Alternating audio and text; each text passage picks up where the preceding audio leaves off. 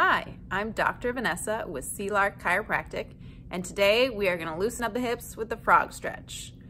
If you have tight hips, it can cause hip pain, back pain, and knee pain. So give this one a try and let me know what you think. For the frog stretch, we're going to be on the ground, so you're going to want to get a pad or some kind of padding for your knees. You're going to get onto all fours, just like this and then you bring your knees as wide as you can go, apart.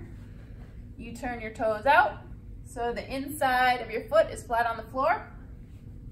And then you want to keep your knee in line with your ankle and your shins parallel to each other.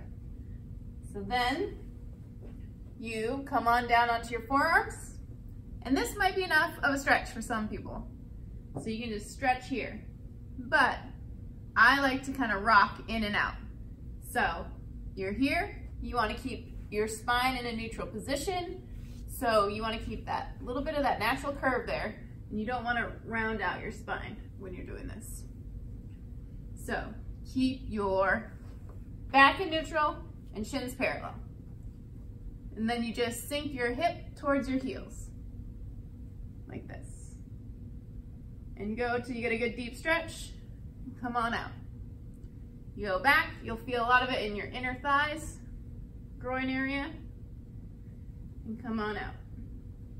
You go back, hold for a second or two, and come on out. You can do this for up to 30 seconds, as long as it feels good. If this is too intense, you can always bring your knees closer together and stay up on your wrists and hands and go back until you feel a stretch. So give that a try.